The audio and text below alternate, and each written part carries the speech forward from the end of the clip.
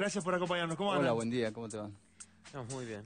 Bueno, eh, profe, realmente con una iniciativa importante con el Instituto Tecnológico de Jujuy, brindando capacitación, si se quiere, a los alumnos o a los chicos que deciden acercarse, que son de diferentes colegios, pero que deciden acercarse a esta institución. Cuéntenos cómo, cómo funciona, hace cuánto que están, que están funcionando.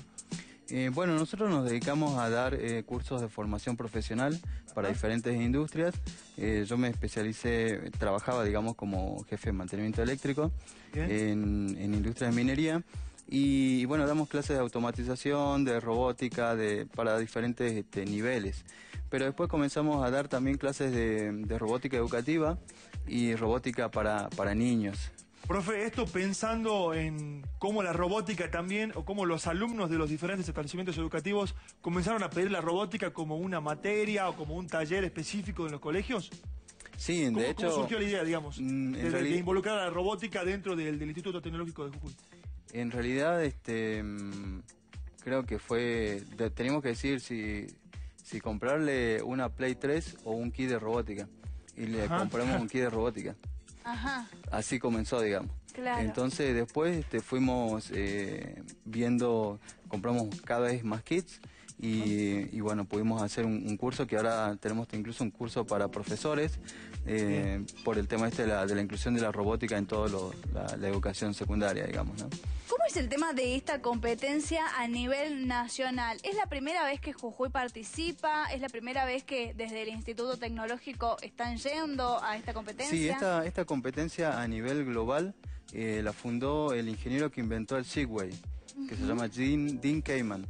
El Segway es el monopatín ese donde ustedes se paran y, y hace equilibrio solito. Ajá, sí, sí, Sí. que, Sí. que funciona bien, sí, sí. Bien, él lo que hizo en los Estados Unidos fue hacer esta competencia a nivel regional, a nivel nacional y en el a- y hace tres eh, años eh, comenzó a hacerlo a nivel mundial. Entonces, en esta competencia, el ganador de esta competencia, eh, el premio es ir representando a la Argentina a Dubái, con todo pago a Dubái. Entonces, así nació la competencia, digamos. Eh, es una competencia que es para inspirar a la ciencia y a la tecnología. O sea, el objetivo es que los chicos se interesen por estas ciencias duras, digamos, la matemática, ciencia y tecnología, y se puedan formar más ingenieros, más científicos, y, y esa es la, la, motivarlos, digamos, para que para ver si, si les gustan estas carreras, Eh, ¿no? Profe, ¿y cómo, cómo llegan ahora a esta instancia eh, nacional? Porque hace rato charlábamos y me decía que ustedes no participaron de una instancia provincial, digamos, sino que van a ir directamente hacia, hacia Buenos Aires. ¿Cómo, cómo Sí, es esto? En, en Buenos Aires, en mayo, hicieron una instancia entre todos los colegios y a nosotros nos, nos contactó el Ministerio de Educación e Innovación Tecnológica de la Ciudad de Buenos Aires. Profe, per- perdón que, que lo interrumpa, digo, ¿los conoció por las redes sociales? ¿Conoció lo que hacían? Digo, ¿cómo, cómo fue ese, ese contacto? Nos llamaron por teléfono, la verdad que no, no la conocíamos, Ajá. sí, sí, sí, yo creo que nos deben haber buscado, nos deben haber este, encontrado por internet y nos dijeron básicamente si queríamos participar de una competencia robótica, que nos mandaban la información, pero teníamos que decirle ese día a la tarde si podíamos o no. Ajá. O sea, era así todo muy rápido, ¿Y digamos. esto tenía, tenía un costo la participación de...? Sí, normalmente Este- la inscripción sale 150 mil pesos, que incluía... 150 mil pesos la inscripción a esta, Sí. Competencia. a esta competencia, a este certamen. Sí, incluía eh, un viaje del mentor para retirar el kit. Venía con un kit de robótica, que es una caja donde están todos los materiales. Sí. Este kit más o menos está evaluado en unos 3.500 dólares. Y es el mismo kit para todas las provincias. Entonces nosotros no podemos usar ninguna otra pieza que no esté adentro del kit. Claro. Ah, bien. Y después eh, lo que vayan a hacer en esta competencia es algo con ese kit, digamos. Claro, exactamente. Es, es- es primicia, digamos, porque la Argentina es el primer país del mundo donde se hace una competencia interprovincial. Ajá. En, en todos los otros países solo ¿Participan las provincias de, de todo el país? Sí, pero es el primer país del mundo y de hecho nosotros tuvimos el kit dos semanas antes que el resto del mundo. Así que eh, hay muchas, digamos, este, cosas particulares de esta Ah, competencia. profe, perdón, eh, este kit que, que vamos a ver enseguida, o sea, este robot que ustedes Es lo hicieron, que van a es llevar lo a- que van a lle- o sea, es lo que pudieron hacer de lo que le dieron desde Buenos Aires. Claro, exactamente. Bien, Te dan bien, un bien, objetivo, una misión. eh, este año es la limpieza del océano Entonces este, hay una pista donde hay pelotitas de diferentes tamaños que representan los contaminantes y hay que recogerlas y enviarlas a una barca de procesamiento que es como una torta de casamiento con varios niveles y según donde pongas la pelotita te van dando más puntos o menos puntos. Eh, Ignacio, eh, me llama la atención eh, mucho la participación. ¿Cuántos años tenés? Tengo 16 años. 16. ¿Y tus compañeros? Mis compañeros tienen ¿O tus, eh, 15 y 15 y 14, ajá, Ajá, o sea, son, son muy chicos, muy jóvenes. ¿Cómo surgió? Porque son de diferentes colegios, decíamos sí, que se han sumado al Instituto Tecnológico de Jujuy. Eh, ¿Cómo surgió la iniciativa? ¿Cómo les picó el bichito, como se dice, de, de la robótica? ¿Qué les fue enseñando el profe para llegar hoy a esto que enseguida vamos a ver y que realmente a mí me sorprendió mucho? ¿Cómo, ¿cómo fue? Eh, bueno, yo personalmente estuve, yo tuve mis inicios en la robótica gracias a él, Ajá. gracias a que él siempre estaba dando cursos y yo, yo lo veía, veía cómo daba cursos de muchísimos temas y bueno, eventualmente me fui enganchando con todo lo que él enseñaba. Bien. Claro. Y, y es- fue difícil eh, comenzar a aprender porque sabemos que, como dice el profe, es una ciencia dura y es, difícil llegar a esto que hicieron hoy, que realmente es increíble. eh, es- es- debe ser difícil. Digo, ¿cómo, ¿Cómo fue el proceso de, ar- de armar el robot? ¿Fue mucho tiempo tardaron en armarlo o, o poco tiempo? Eh, sí, realmente tardamos mucho, mucho tiempo en llegar hasta donde estamos ahora porque el, el robot es la calibración de todo lo que es las piezas del robot es mecánica muy, muy acertada. Claro, De hecho, exactamente. hay veces que tuvimos días completos en el aula creando el robot. Claro. ¿Y, y cómo fue cuando vos te enteraste de, de esta eh, competencia? ¿Qué fue lo primero que pensaste? ¿Te dio así un poco de intriga, miedo? ¿Qué es lo, lo primero que sentiste? No vamos a llegar, dijiste, no, no sé. Sí, por momentos quizás sentimos miedo porque el tiempo va pasando muy rápido y uno cuando está armando un robot parece que no avanza. Claro. Pero ahora que estamos aquí estoy muy emocionado por lo que puede llegar a pasar en la competencia. Claro. ¿Cuándo van a viajar ya? Eh, a la- El miércoles viajamos. ¿Mañana? Sí. ¿Mañana Ah, ya, miércoles? ahora yo pensé que dentro de un mes. Ahora, mañana. Ahora viajamos, Ajá. sí. Y acá, la- acá abajo tenemos nosotros ya el Sí. resultado del proyecto final. ¿Lo podemos mostrar? Pará, sí, sí, para. Hay, profe, eh, hay un antes- requisito Sí. fundamental que nos, que nos pidieron y es que si sabíamos hablar inglés. Ajá. Ajá. Entonces, eh, ¿por qué? Porque los equipos son, son tres países. Entonces, capaz que te toca por sorteo Alemania y Yugoslavia. Y vos te- los chicos tienen que hablar con el otro equipo y decir, bueno, ¿cómo se van a coordinar? ¿Nos vamos a mover en sentido horario? ¿Qué va a hacer tu robot? ¿Qué va a hacer el otro? Y todo eso lo tienen que hacer en inglés. Y eso fue lo que más nos costó. Claro. Eh, nosotros cuando, cuando trajimos el kit no teníamos el equipo, no teníamos los chicos. En Buenos Aires, por ejemplo, ya habían hecho, eh, nos llevaban un mes de ventaja, ya tenían el equipo y tenían todo. Entonces eso fue lo, eh, es muy, este, lo hable de todos los chicos, todos los chicos de nuestro equipo hablan inglés, eh, así que la verdad que estamos muy orgullosos de, de poder Eh, profe, llevar a estos chicos. ¿no? eh, ¿Cuándo va a ser la competencia? Porque mañana viajan. ¿La competencia es el fin de semana? Es el 29, 30 y 31 de, de agosto. viernes, sábado y domingo. Sí. Eh, y bueno, lo- los chicos, ¿cuánto tiempo estuvieron para armar? Y, y cuéntame qué tamaño tiene el robot. El robot tiene unas medidas eh, reglamentarias de 50 por 50 por 50 y estuvimos trabajando dos meses en el armado. ¿Dos meses? Sí. La verdad. ¿Y cada, cada equipo puede conseguir un proyecto distinto o más o menos todos tienen el mismo formato? Por ejemplo, así, que es más o menos un triángulo.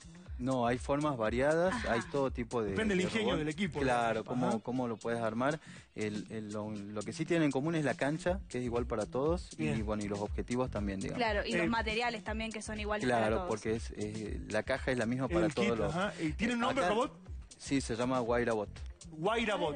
¿Podemos hacer funcionar a Guairabot? Ahí ¿Cómo los es? chicos están ¿Me preparados. puedes decir los nombres antes de Alexander Alex y Elvis. y Elvis? Ahí Bien, está. bueno, y acá está Ignacio y el profe Claudio. Eh, Ellos están listos. Ellos ahí. están listos. Vamos, a ver, vamos a, a moverlo un poco a, a Guairabot. Mirá, eh. Ah, no, es buenísimo. Ven cómo va juntando las pelotas, ¿sí? Recordemos que la temática de este año es la recolección de residuos Ajá. en los océanos. En los océanos. O sea que este robot se tiene que ir moviendo ¿Sí? y tratando de atrapar, si se quiere, los residuos que en este caso están representados por las pelotas. Sí. Tiene ese tipo de, Mirá. eh, manos, digámoslo así, que van arrastrando la pelota hacia arriba, las va recolectando y después, profe, tiene como una especie de lanzador de, de- de lanzador Sí, de pelotas. esta- estas dos rueditas que se ven atrás es Sí. un lanzador que las tira hasta, hasta acá. Ven ahí, ahí, eh, podemos girarlo un poquito para que veamos eh, a dónde, dónde quedan las pelotas. Mira, ¿ves? Ahí atrás quedan las pelotas depositadas y Ajá. después tenés el Ahí lanzador. abajo, ahí está. No te voy a pedir que lances para acá. ¿Te animás a lanzar una para...? Ay, para- me va a pegar no. a mí, ¿eh? ¿Lanza muy fuerte? No, no están conectadas Ah, todavía bien, bien, bien, bien, bien. Sí. Pero bueno, No, vamos a matar a alguien con... sí. Eh, profe, bueno, las pelotas, digamos, que, que se van recolectando, ¿eso eh, tiene algún número para acumularlas? Sí, de hecho, yo creo que ahí ya está casi lleno la, la capacidad. Sí, por eso le preguntaba, este, sí, por sí, el sí. tamaño. Eh, el objetivo es recolectar todas las que estén en la cancha y acercarse hacia la barca y depositarles, después volver a, a juntar. Tenemos el- dos minutos y medio para hacer todo. Bien, ¿y el depósito se hace lanzando o se hace haciéndolo de, de otra forma? Digo, no, no lanzás las pelotas, sino que la- las deposita en algún... Sí, tiene un ¿De alguna- gatillo que después la- las va disparando, digamos. Pero Claro. ¿Es disparo fuerte o es solamente un disparo...? No es un disparo fuerte. No, yo, yo le pregunto porque por ahí si tienen que depositarla en determinado tiempo en un lugar, digo, para dispararle que caiga justo en ese lugar, va, Sí, va a estar... no, en realidad hay, hay mucha física. Es parecido a jugar al pool. Vos cuando, eh, si haces un lanzador común, la pelota rebota hacia adelante. Pero si la haces girar hacia atrás, la, la pelota cae y rebota en el lugar. Ah, Entonces, bien. por eso que tiene Ajá. dos rueditas, con la diferencia de velocidad angular entre una y otra, logramos el efecto. Ah, bien, bien, bien. Eh, bien. la verdad que- Igual le digo que, que es complicado, ¿eh? O sea, No, de- sí, depositar sí. la pelota en un lugar en determinada cantidad de tiempo con el nerviosismo que me imagino que pueden llegar a tener y demás. Y aparte que funcione todo en óptimas Sí. condiciones, porque si no, Ignacio, eh, si no funciona bien, digo, se va a complicar. Profe, ¿qué se imagina después de esta competencia? ¿Cómo cree que, que va a cambiar eh, en materia de robótica nuestra provincia? Este kit es primicia para Jujuy. Sí. Y nosotros tenemos los contactos de la gente que tiene el mismo kit en Salta, en Tucumán y en Córdoba. Entonces, podemos tranquilamente organizar competencias locales entre las diferentes provincias. Sí. Entonces, la idea es, es tratar de seguir con este movimiento, eh, hacer lo mismo que, que hicieron en Buenos Aires, replicarlo y sumar a todos los, los colegios a estas competencias, digamos. Claro, no, pero aparte, profe, realmente eh, nosotros venimos hablando mucho aquí en De 79 más respecto al cuidado del medio ambiente y demás. Eh, sin duda que, no sé, si nos están viendo algunas de las autoridades de- del gobierno de, de la provincia, ¿por qué no pensar en hacer algunos otros ejemplares de este robot para utilizarlo y para, por ejemplo, Claro, levantar la basura en, el, par- en la Plaza Belgrano? Póngale, no sé, Sí. se me ocurre ahora. ¿Por qué no? O sea, puede ser realmente, si bien es cierto que el kit es costoso y el tiempo que lleva a armarlos es, es mucho, eh, me parece que puede ser un antes y un después para la provincia también. Sí, esto es una herramienta muy rápida para hacer prototipos. Entonces rápidamente puedes hacer un mecanismo. Y Claro. después ya una vez que querés hacerlo en producción, lo puedes hacer con otros Claro, materiales porque lo difícil fue como crear este primer producto, Claro. si se quiere, ¿no? Ahora ya con los planos, con, con el mecanismo con la ya idea, armado, ajá. se puede ir replicando también. Claro, de hecho en. Buenos Aires, cuando hicieron la competencia provincial, les pidieron a los chicos que, haya- que hagan un proyecto. Los chicos hicieron limpieza del río. Entonces ahora eso se está, este, lo están implementando y clasifica la, la basura, digamos, por colores, por materiales, por peso. Claro. Entonces los chicos se involucran y, y- y hacen algo realmente. Y qué importante, ¿no? Hacer este, lo que uno aprende en un aula, llevarlo a la realidad también para los Y chicos, sí, es claro, algo por importantísimo. es importante. Bueno, eh, contarle a la gente que eh, lo están manejando al robot con un joystick, ¿sí? Sí, parecido al de la Xbox, ¿bien? para que la gente se, se ubique. ¿Y una tablet? Y una ¿Es el tablet. Una ¿eso tablet no? con Android por Wi-Fi, sí. Ah, por Wi-Fi, ¿no? Realmente eh, No, sorprendente. A mí no me deja de sorprender. a Yo mí me la- acuerdo cuando este trataba tipo de armar, cosas. viste, la- las casitas con los miladrillos. Claro, con los ro- con los Y- rastri, Y claro, me salía tal- mal. tal cual. y veo En esto y es algo La increíble. competencia eh, se va a hacer en un estadio de fútbol para 20.000 personas. Eh, el último día cierra el grupo Agapornis Ajá. y el relator es Osvaldo Príncipe. Osvaldo Príncipe, ajá. Maduren No, sí, maduren no. local. No, no va a decir eso, Osvaldo Príncipe en este momento. Eh, es, es muy parecido a un deporte este, electrónico, digamos, como, como los, los juegos, pero entre robots. Claro, digamos. como se ve, Claro. por ejemplo, en los Estados Unidos, en las películas que vemos eso eh, de competencia con los robots, bueno, en este caso es parecido, pero es llevado hacia un fin que está bueno, que es en este caso el cuidado del medio ambiente, y nos parece que, que está muy bueno. Profe, realmente felicitarlo. El equipo a- Pachamama. A, todo el equipo Pachamama lo felicitamos, es algo increíble lo que han hecho y ojalá que les vaya muy bien. Buen viaje mañana y muchísimos éxitos para el fin de semana. Les vamos a pedir que cuando vuelvan, la semana que viene, por ahí, no sé, nos mandan un mensaje o se vienen de nuevo para ver cómo les fue para seguir hablando un poco de Y como cómo lo decíamos. ¿no? Eh, primera vez para Jujuy es algo importantísimo, más allá del resultado, lo que conozcan los chicos, No, los sin duda, profes, sin duda. es va a ser algo realmente increíble. Aparte, Sí. captar los conceptos de otros países, me parece que también para Ignacio y para el, el equipo Pachamama va a ser muy, muy importante. Eh, en el, en- durante la competencia tenemos un stand eh, y en ese stand tenemos que mostrar nuestra provincia.